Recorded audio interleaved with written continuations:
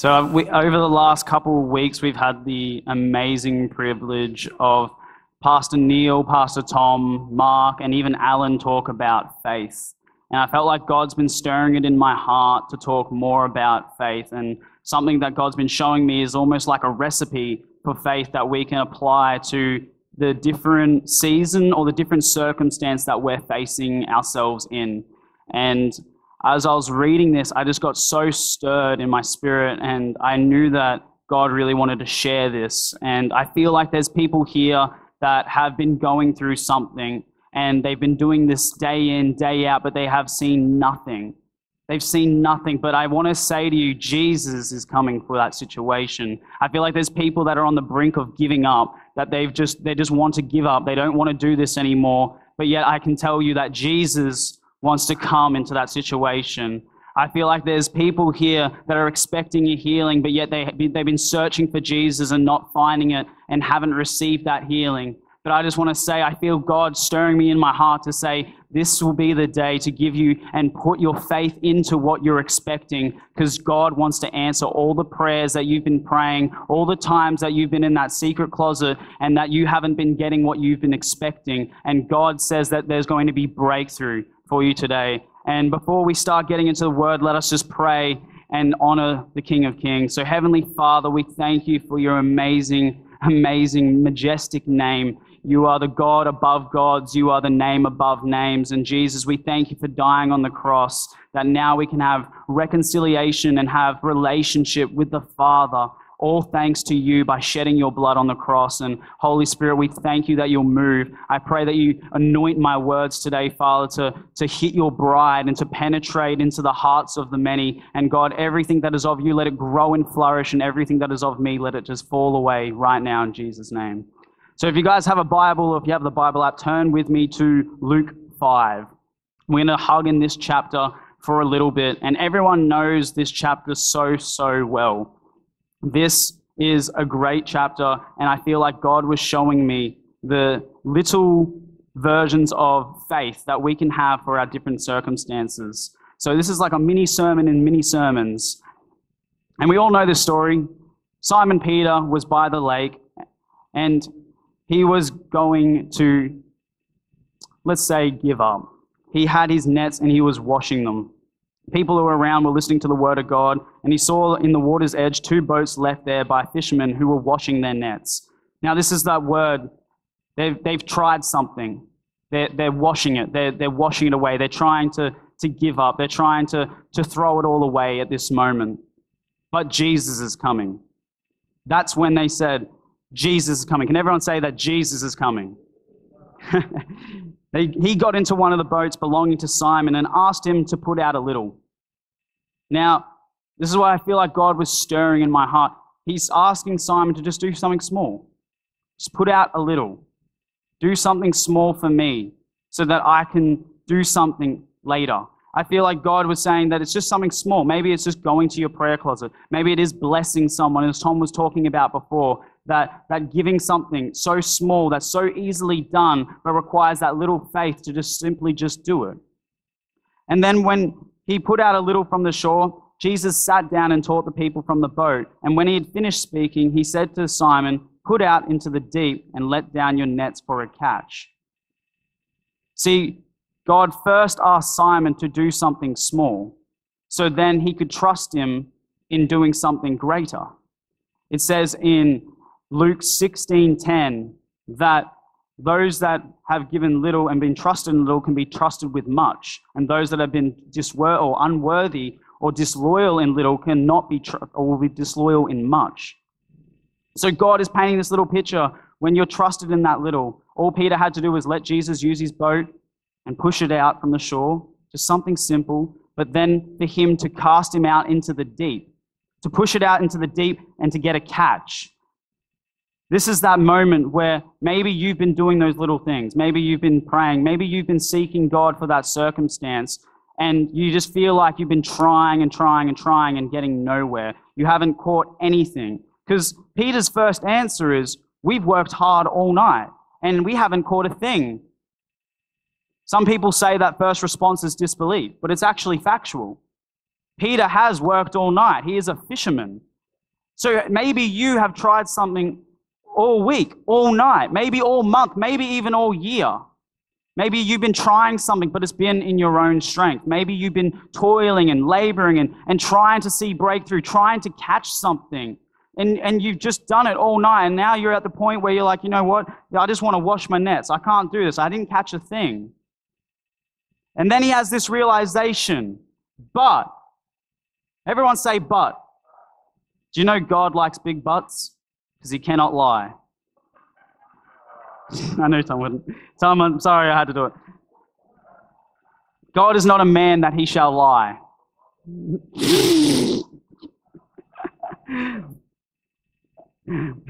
but, see, Peter had a realization of who he was talking to. He realized the person that he was talking to. He was talking to Jesus.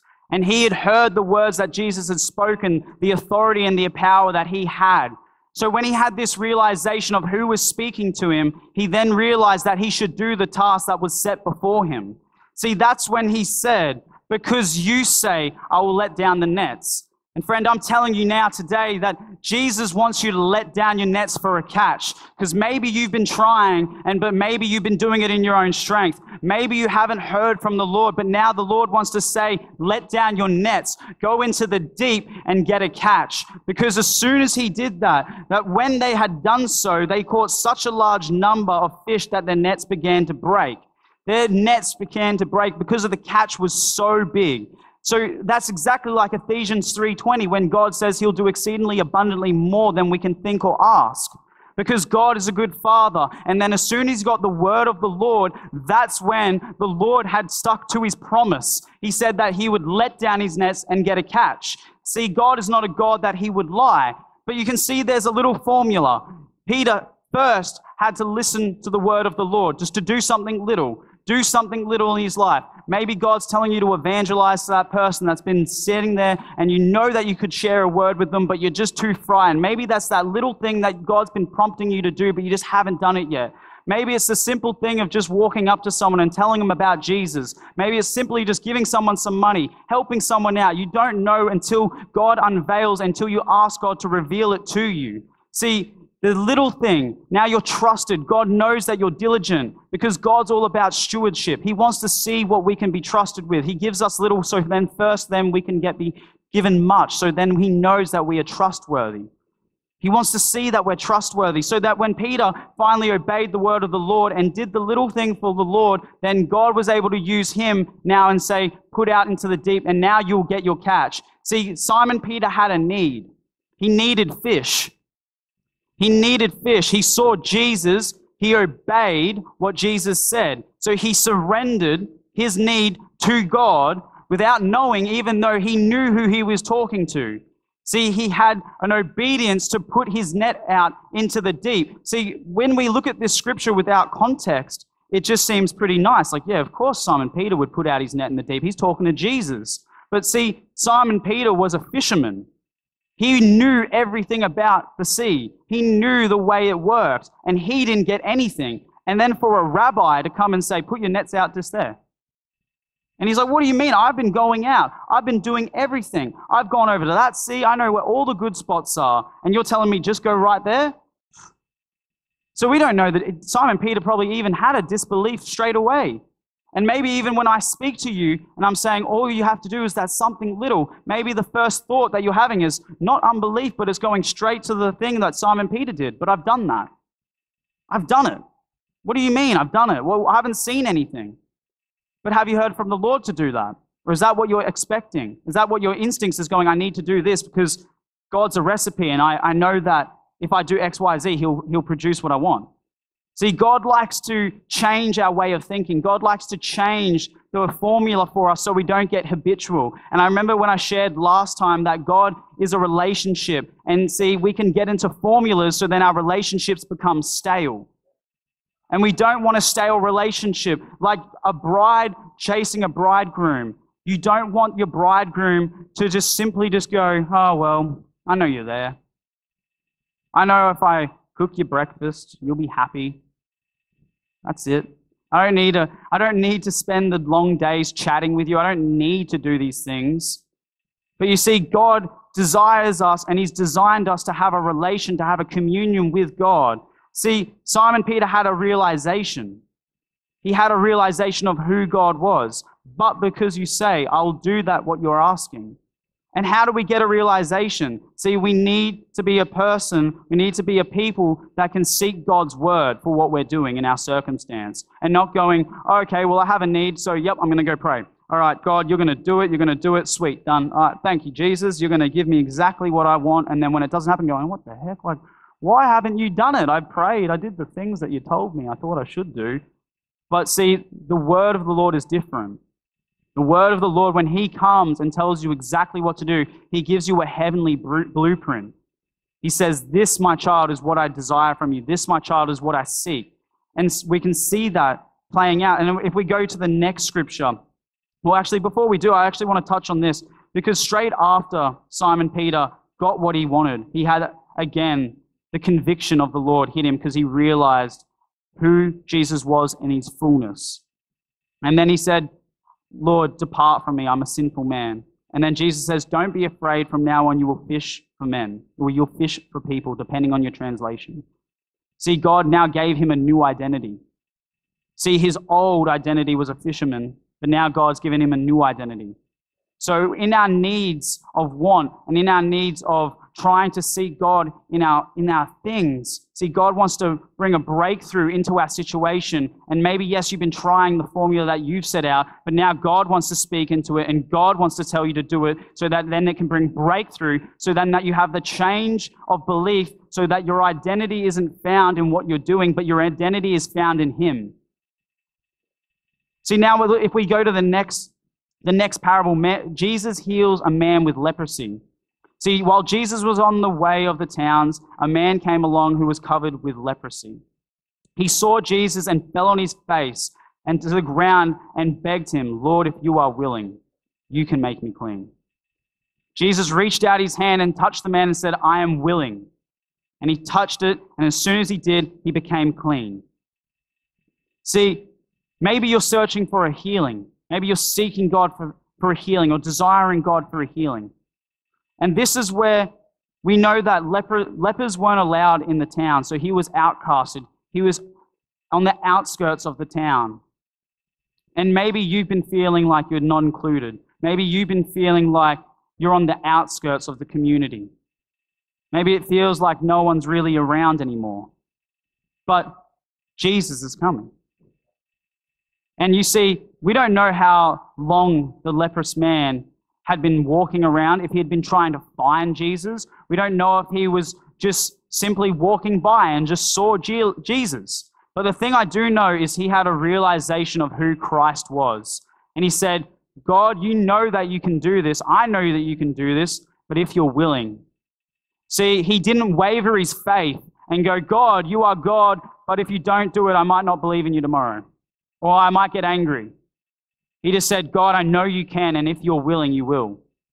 See, this is a beautiful picture of maybe in this situation or maybe in this need, this is a time that you can search for Jesus, that you can go on the outskirts, get away, be, be taken away from the crowd that you've been hanging around and go and seek him and be on your face before him and go, God, I know who you are. And you are, I, if you are willing, you will help me.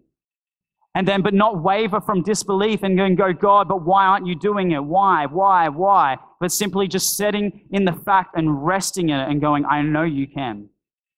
I know you will because you're a loving God. And giving Him the choice, giving Him that responsibility because it's not up to us to choose whether God shows up or He doesn't. It's purely God because we don't know what God has planned for our lives. We just know that He's a good Father and that He will meet our needs and meet us where we're at always because he loves us. He designed, he's designed to have a relationship with us and we're designed to have communion with him. And when we sit there and search him and go, God, I know you can do it, but if you're willing, can you please? And he just sits down and simply whispers, I am willing.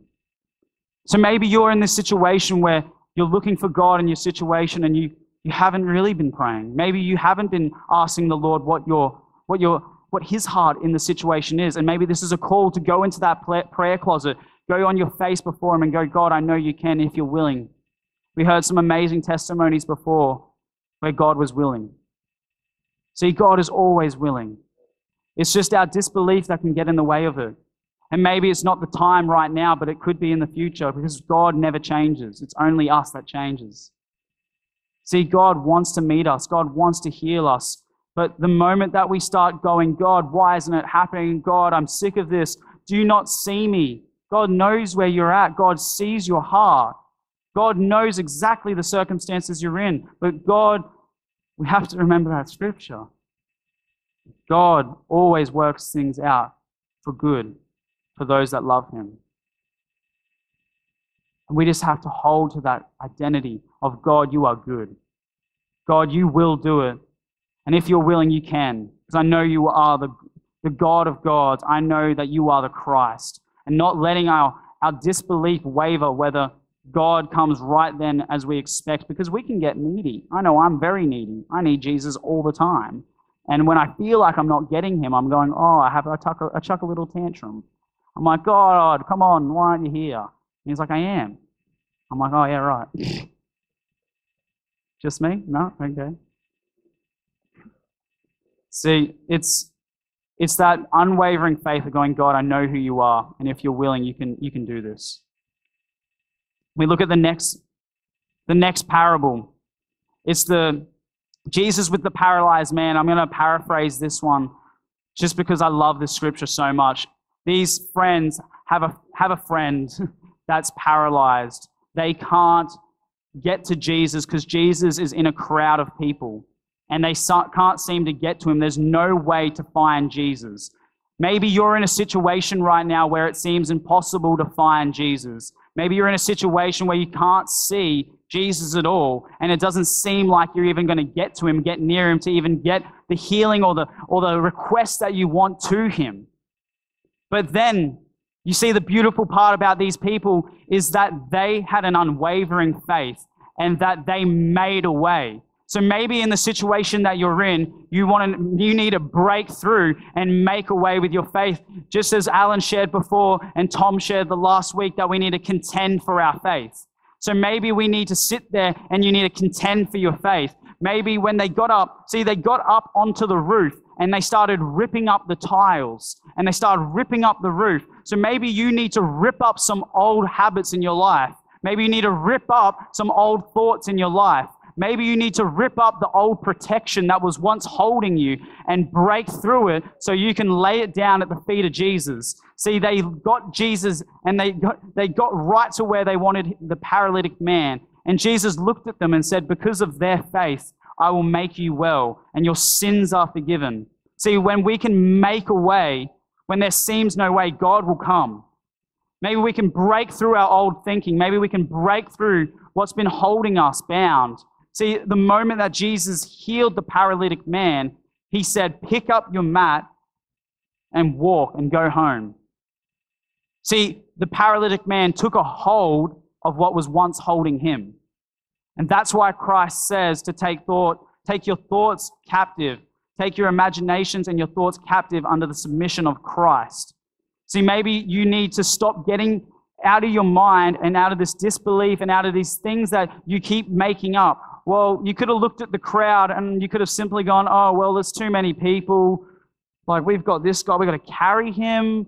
It seems, oh, there's, there's no way that we're going to get to Jesus. It seems impossible.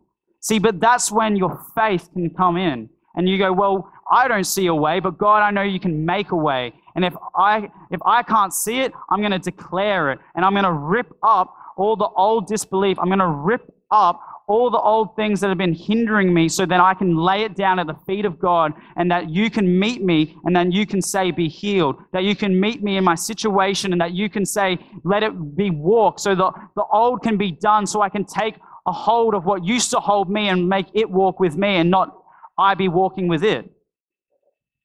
See, that's what God wants us to do because sometimes hail comes and sometimes after that a flood comes or if we look at 2019 or 2020, it was a fire and then a flood and then it was COVID, I think. It was just one thing after the other, and it seemed like it was never letting up. And then that's when we can try and take firm hold of belief of what God has told us. Because, like I said before, God is not a man that he shall lie. So every word will come back to him. It will not pass him and, or make it void. He makes sure that it is fulfilled. So that when we are finding ourselves in this situation of unbelief, when we're finding ourselves in a situation where it seems like it's not going to end, there's no way to Jesus. There's no way that I could find breakthrough in my situation that we can make the way, that we can declare the scriptures, that we can just begin to rise up every morning and start to go, No, you are a good God. You will make it happen because I know that you will say, you say it will be done. You say in your word that you will heal. You say that you are a good God. You say that you will plan all things for good that those that love you. I thank you, Jesus, that you will do it. So then that we can stand in faith and not let our disbelief in our minds come in because the moment we let the enemy come in, he will begin to rule our thoughts. And then one thing comes after the other, and then you're in an avalanche of thoughts. You're going, oh, well, then there's this problem, and then there's this problem, and actually there's this problem. You know what? It actually wasn't possible. I should have listened to the people because, yeah, they're right. There's like five things now that, are, oh, and there's this one. And you start going on this little tangent of disbelief, and then you start ruling it back, and then you go, oh, well, God, you don't even really love me, and are you even here? And then you just start going downhill. But then when you can try and take a hold of what the things that were holding you, and you can take them and go, no, God, no, no, God, you're a good God. You say that it will happen. You say that there will be breakthrough. You say that you will meet me. You say that if I seek you, that I will find you. You say that you will be a healer because the blind eyes will be open, the deaf ears will hear, and that the lame will walk. So I can trust in you, and those that trust in you will not be put to shame, for the Lord is good. And that you can begin to declare that and make breakthrough in your situation and not let the devil start hounding you and put you in disbelief so that you stay bound on the mat and that you never even get to the feet of Jesus to allow him the opportunity to heal you or your situation. So, straight after that, again, he takes hold of what was holding him and see now he's got a new identity. Before he was the paralytic man, now he's the man jumping and praising Jesus. Because immediately he stood up in front of them, took what he had been lying on, and went home praising God. Now he's the man that praises God. He's not the man bound by the mat. So, straight after this parable, again, I just saw this little pattern, and we're going to go to Luke 7 soon, but there's a little pattern. We have, we have Peter, who had, to have an, he had to have a surrender and he had to have an obedience. We had the leprous man who knew who Christ was, and he was laying at his feet. He searched for God and laid at his feet for his need. Then we have the paralytic man who made a way to find Christ, who found a way in his situation. And then straight after, we have this beautiful little picture of when Jesus calls Levi, or as people might know him as Matthew. See, after Jesus went out, he saw a tax collector by Levi sitting at his tax booth and said, Follow me. Very simple word. And Jesus said to him, and Levi got up and left everything and followed him. Then Levi held a great banquet for Jesus. See, maybe you're in this transition of your life and you feel like you're bound by this job because Levi was a tax collector. He was bound in this little booth. He was bound by what he thought he knew. He, he was bound by the work he was living. He was bound by the life that he was got portioned to him and he had chosen. And maybe God's saying, Follow me. Maybe it looks scary. You don't know what that looks like. Levi was a very wealthy man. Being a tax collector, he had a lot of money. But Jesus is saying, Follow me. Jesus is a, practically a homeless man that just is a nomad ro- rolling down the streets. But yet, Levi realized who was speaking to him. And he said, Yes, I will follow you. So he left everything. He left everything behind and followed Christ. Then, out of the innermost of Levi's heart, held a banquet, feasted with Jesus, communed with Jesus, celebrated with Jesus, drank with Jesus. See, when we have our faith and we leave the old behind, we give it all to God so that we can dine with Him, so that we can drink of His goodness, that we can stand firm in who He is. And as Tom shared last week, that by accounting the testimonies of who Christ is, by accounting the things that He's done in our life, will bring us to remembrance of knowing what He can do. See that when we when we know and we dine with Jesus, That's when the goodness will well up. That's when we will understand who Christ is. That's when we can have the obedience and have the faith to surrender and lay it all down at his feet and know that it will be made well because Christ said so, because he has told you so. There is plenty, plenty, plenty of testimonies where God has told you to do something, or God has told people to lay it all down, to follow Him, to go somewhere that seems scary. But God knows the plan, and we have to remember God's got a bird eye view. It's like being at the edge of a cliff and then not knowing what was underneath it, and God saying, jump. And you're like, oh, that's scary. But He's like, there's pillows underneath, like the gigantic, you're going to land in beautiful water. It's going to be fine. But we don't see that. But God can see that. That's why He will say, Do it. God is such a beautiful, amazing God that He actually knows what, believe it or not, He knows the beginning to the end. So if He's telling you to do it, it's because He knows what's going to happen. It's not because He's just winging it, going, Oh, well, I told Him to do that. I hope that goes well. He's not, he's not like your, your, your friend at 12 o'clock at night offering you advice about your situation. You know, he's not the guy that's like, oh, well, yeah, do that. I shouldn't have given him that advice. Well, All the best. God, God actually knows what he's doing. Do you guys believe that? He actually knows what he's doing. When he tells you to do something, it's because he's already planned it out. It's not, uh, he's not making it up as he goes. He's actually planned it. That's why we walk according to his steps, and he will make the path straight as long as we submit to him. See, now if we go to Luke chapter 7, there's another beautiful picture of faith. Everyone knows this story oh so well. I feel like everyone does know all these stories because these are beautiful, beautiful pictures. See, Jesus, again, was walking through the town, and these elders had come up to him and said, There's a great man who is well deserving of this healing. He's, he's his person is getting needs healing right now, and he's well deserving of it. You should go and do it. He's, he, he loves our land. He, he, he actually even built the synagogues. And Jesus was like, okay, I'm going to go. And he moved and went to go heal him. But see, the centurion actually realized and knew who was coming to his house. He had a realization of Jesus and the man that he was. So he didn't even go out and see him. He actually sent people to go talk to Jesus and say, I'm not worthy of you to have have you under my roof. But see, I'm a man of authority. So you say the word and it will be done. See, the beautiful thing about this, if we look at John as well, this story in John, Jesus' first ever miracle was in Capernaum. And he turned the water into the wine at the wedding feast. We all know that one. And it speaks of the covenant and how instead of a ceremony washing on the outside, that it's now going to be a washing on the inside from the blood of Christ. But it also, prophetically speaking, talks about how God, and what we heard Tom prophesy to us before, is saving the best move of God till last. He saves the best till last. Then he went away and he comes back to Capernaum. This is the second time visiting Capernaum, and then he finds faith.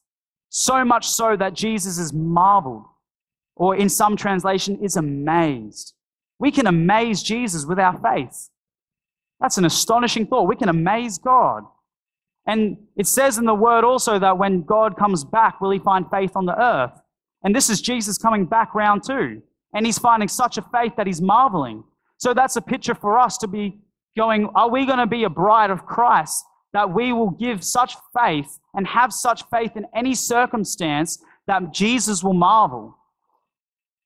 That we can know the God that we serve, that He doesn't even need to be present. He just needs to say the word, and it'll bring breakthrough. It'll bring healing to all that is listening, to all that is around.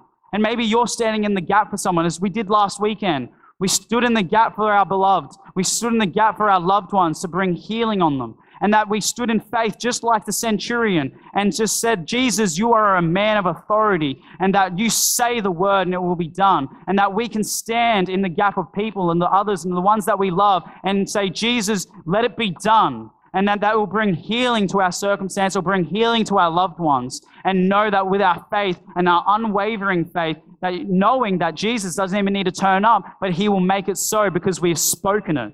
See, we are co creators with Christ. And that He has given us all authority on heaven and on earth, so that now that we have that authority, it's up to us to steward that authority and speak into situations and believe that God will touch that person or touch the other person that's coming. See, the, the funny thing about this is that I don't read anywhere that that, that servant actually knew that they were getting prayed for.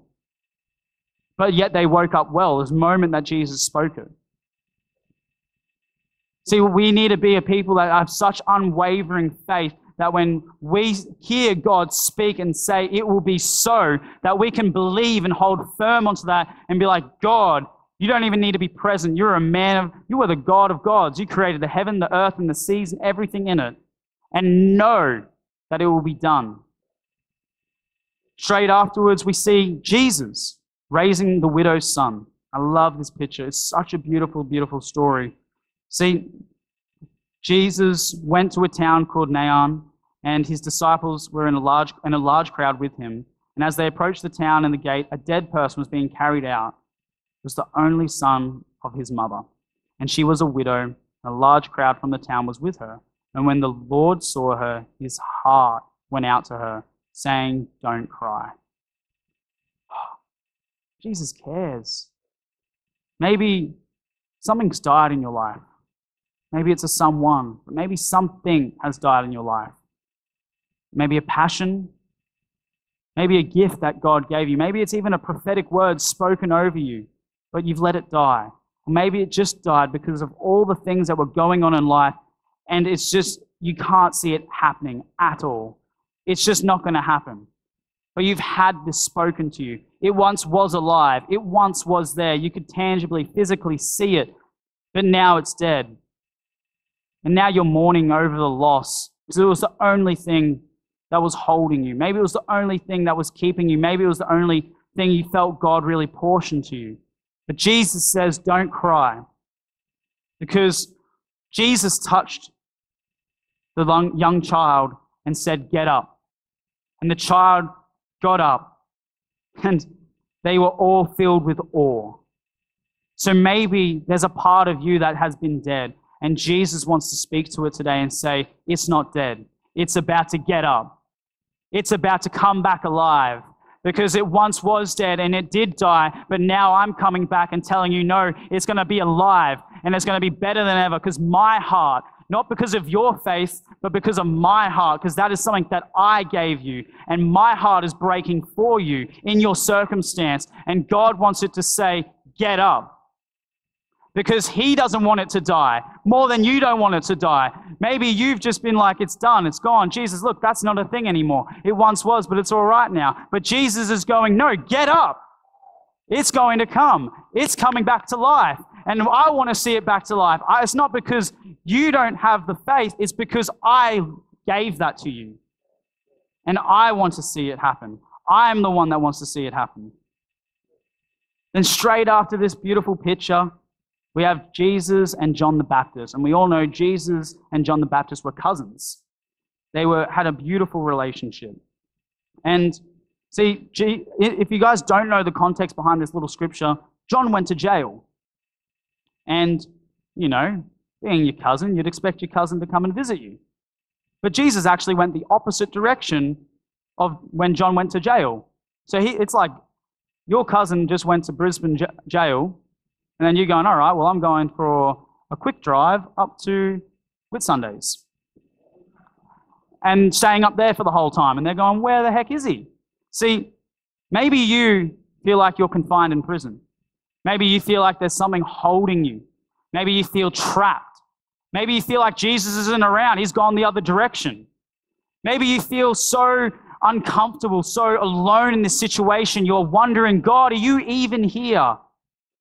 God, it feels like you've packed your bags on purpose and gone the other direction. See, this is an amazing thing because John actually sends out disciples to go and see Jesus, to sort after him, and says, Go ask Jesus, is he the one he says he is? So John the Baptist was fighting disbelief. John the Baptist, who baptized Jesus, heard God speak to Jesus started questioning is God God? Is he really who he say he is? Because he went through this time of trial. He was in this time of confinement, a time of refining, a time where he felt like he was trapped and burdened. And then Jesus simply says, Go back and report to John all the good things that I'm doing. All the good things. The blind receive sight, the lame walk, those who have leprosy are cleansed, the deaf hear, the dead are raised, and the good news is being proclaimed to the poor. And then straight after he says this, he says, Blessed is anyone who does not stumble on account of me. See, it's this beautiful picture that's getting overlaid throughout all those little parables or those little stories of Jesus going and healing. Don't let your faith be wavered whether Jesus comes or he doesn't, because he is God. He is coming. It's just not in the time you expect. There's a great story, and I love it so much. I can't remember where in the Gospels it is, but it's there somewhere. I'm sure if you go find it, you'll find it. And they say, Jesus, the one you love, is dead. And Jesus, I just picture it like this Jesus is sitting down, and this person runs up, and they're like, Jesus, the one you love's dead. And he's just, he's down, he stands up, and he goes, This will not end in death, but this will be to glorify God. And then he sits back down and never, and then he just starts chilling. Everyone's like, what, what? I thought you were going to get up, and everyone was ready to march and go and just just shakabundi, like Neil says, and see it raise the dead. But he just sat back down and started chilling, and everyone's like, wait, wait, but he's dead. Jesus, we we need to go. He's like, no, he's just asleep.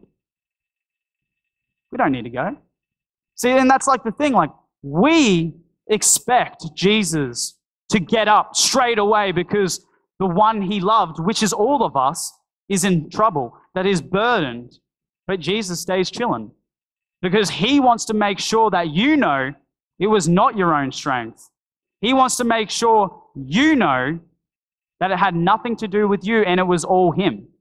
So that when he comes on the fourth day, when it's past human or possibilities or even in traditional rites that you might have formed around your thinking, that Jesus breaks through and tells the dead to rise so that when it happens, you definitely know, okay, that was nothing to do with me. All glory to you, God. See, and that's the, that's the thing God wants to do. He, he likes to stack the odds against himself to prove that he is God. And it's also so that we can have a deeper trust of our bridegroom, of our lover, and have this trust. Because if our trust is dependent on getting everything every time we want it, then it's not trust. It's an expectation receiving very fast. And it's, it's just, again, it's just this amazing, amazing relationship. It's like the tango. Jesus is in lead. And you just need to say, Jesus, let's dance today and you let go of control because I don't know if you guys have ever danced before. And if the girl starts to try to lead and you're trying to lead, I had this experience with someone, I don't know who, and they try to lead, it makes it awkward because you guys go, hey, I want to go this way, I want to go that and they're trying to lead you two different directions. And that's what we do with Christ sometimes without even knowing. We're like, Jesus, we want to go this way. And he's like, no, this way. And then you're like, no, this way and you start forming this little wrestle with God and you don't even know you're doing it. So that's when we need to surrender, have that realization that Jesus is Christ, that He knows best, have the obedience to trust in Him and do what He's saying. And then have the faith that He will come through and see that He will do it. Then the way that it's unraveled again. See, we had we had the three forms of faith in, in John 5, then finished off with communing, dining with God, that intimacy with Jesus. Then again in Luke 7, we have three forms of faith. Then again, the communion with Jesus. See, in Luke 7:36, Jesus was anointed by, by a sinful woman, as it says. And where Jesus is, he's in a Pharisee's house. He's in a man of high prestige. And this woman comes in, a very sinful woman. So obviously, she was known by the town as a not a godly person. She was despised by people. And She comes into the presence of these godly men, and they all look at her and go, What are you doing here? And she starts crying at the feet of Jesus. Again, cracks this perfume of nard that was over a year's wage. Again, giving everything to God, pouring everything out to Jesus at his feet, crying. And you see, the thing about it as well is she had her hair down, wiping his feet. And in that culture, women weren't allowed to have their hair down, it was always tied up. So maybe you just need to let your hair down. Maybe you just need to stop being so religious. Maybe you just need to stop thinking that it's got to be a certain way. Maybe you just got to stop trying to lead Jesus and tell him where he should go and actually surrender and just do the dance, do the tango, and just have some fun with it. Well, God, oh, it looks like I'm not getting out of this one. I've really dug myself a hole. Like I've got no money. I'm in the middle of Calcutta, no food. I trust you. You're gonna, you're gonna, you're gonna do something cool. This one, like, I have no way of even thinking about how you're gonna do it. See, when we have that faith in our bridegroom, in our husband to provide for us, in our father to look after us, that's when we can rest easy in the storm, just like Jesus was. He was sleeping on the boat. He had not a care in the world. And that's because he knew who he was. He knew what he was capable of. So when can we know what God's capable of. Pour everything at his feet. Leave everything at his feet. Maybe this is a call for you. Maybe you've been holding parts of your heart back. Maybe you've been holding something back. Oh, God, I don't want to give you that. It's too expensive. It cost me too much to get me where I was.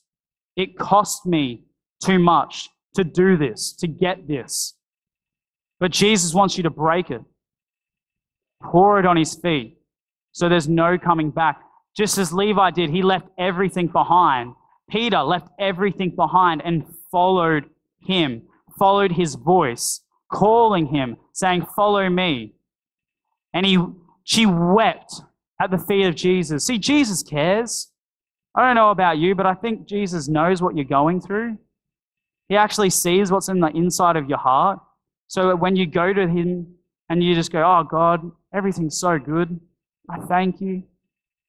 He's like, oh, You're lying to me.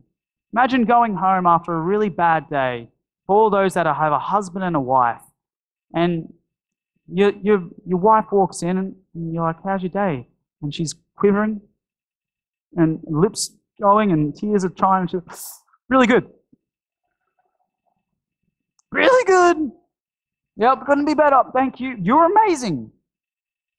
You're amazing. What can I do for you? Can I just go serve you? Can I do something for you? See, the, the husband's heart in that situation is going, No, stop. Tell me your heart. I want you to release it. I want you to, to take that burden away so you can give it over to me so I can hear it and carry it with you. Because I don't want you to hold that so then that you're a mess later and break when you spill your iced chocolate and then you start crying and then everything comes out and you're like what's going on everything's falling down and everything's breaking and nothing's happening and you know you're just you're just crying on the inside see see jesus just wants you to just go to his feet let it out let your hair down just be real with god so many people try to cover what they're feeling to God, but God knows your thoughts. You guys know that? He knows your thoughts. He's numbered the hairs on your head. He actually knows you better than you know yourself. So when you're trying to muster up the courage to go to God and say, actually, I'm doing way better than you think, it doesn't work. He's like, oh, sure. oh, let me try. But he, he just desires us to have such an intimate relationship with him that we can cry, we can be vulnerable, we can let everything out to Christ and know that it's not forsaken. We know that we don't give it and that's it. See, no, nothing pleases God more than faith.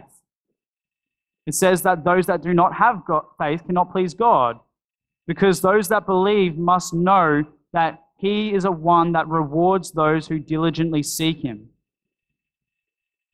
So, why do we sit here and try to pretend everything's all good to an all knowing, all omnipresent God when He can see into your heart and just wants you to release it?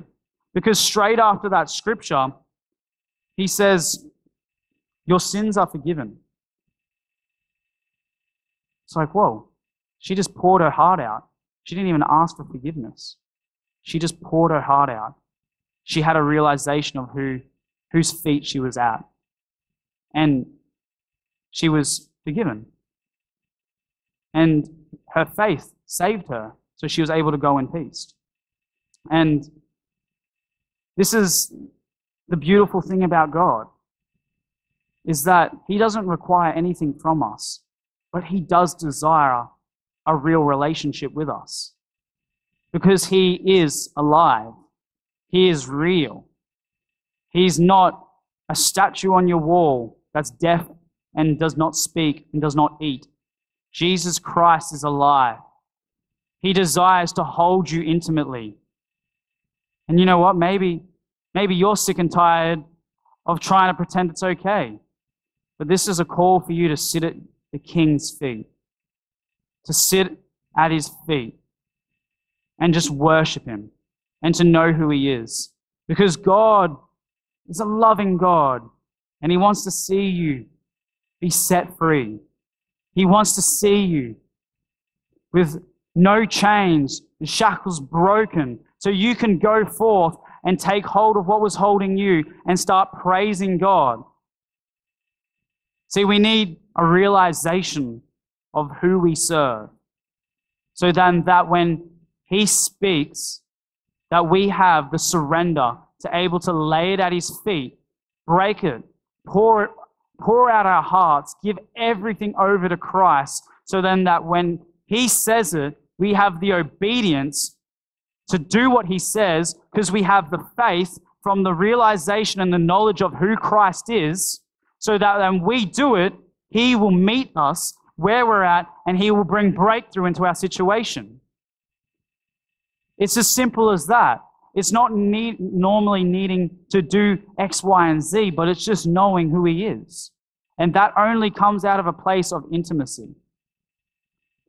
And maybe you are sitting here today and going, Well, I have tried all the things and nothing works. Like, I'm sick of hearing these stories on faith, but yet I've got faith the size of a mustard seed. I should be able to move mountains. But yet, God just wants your heart and wants you to trust Him Maybe you need to lay it at his feet. Maybe you're still trying to take control of it. Because maybe you're trying to control the situation without even knowing because you're trying to pray the exact prayer that you want and telling God how he should do it.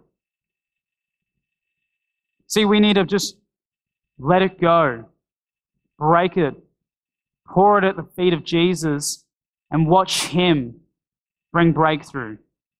Break through that old thinking and start declaring the truth of God so we can rip up our old beliefs, rip up what we used to know, and then bring it to Jesus and give it to Him so He can say, pick up your mat and walk. Pick up that situation, throw it away.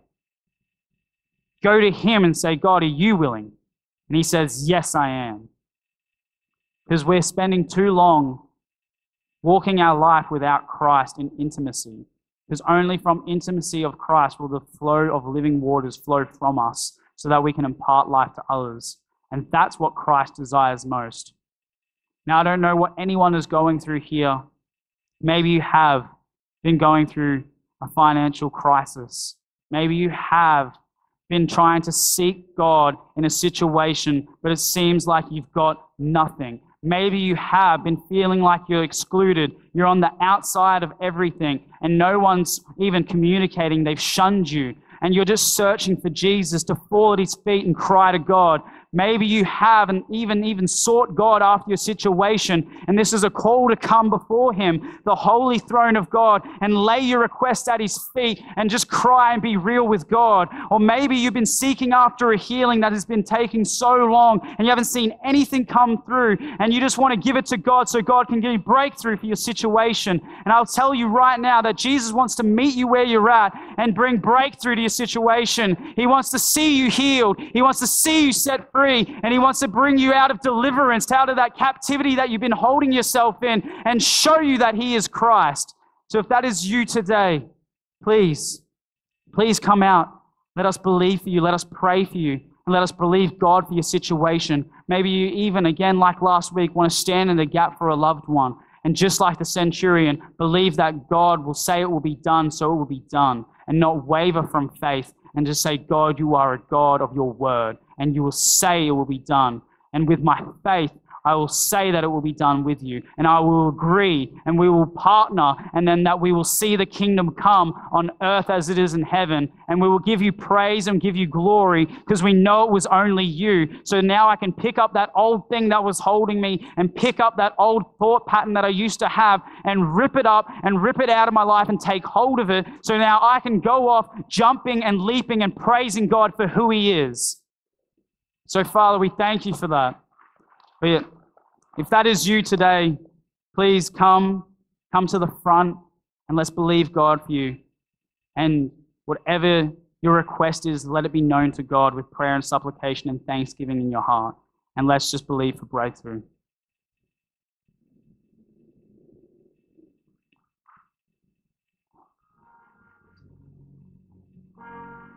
So, Father, we, we thank you that your presence is here, God. I thank you that all those that are desiring to seek you more intimately, to have a revelation of who you are, Christ. I thank you all those that are seeking healing, that are seeking breakthrough, that are seeking something from you, God, that there will be breakthrough in the name of Jesus, that there will be the power of God released. Your anointing will be released today. So, Father, I thank you that all those that are seeking after you, seeking something from you, seeking after your heart will just come and lay at your feet, lay their requests before you, and believe in you and you alone. Thank you, Holy Ghost.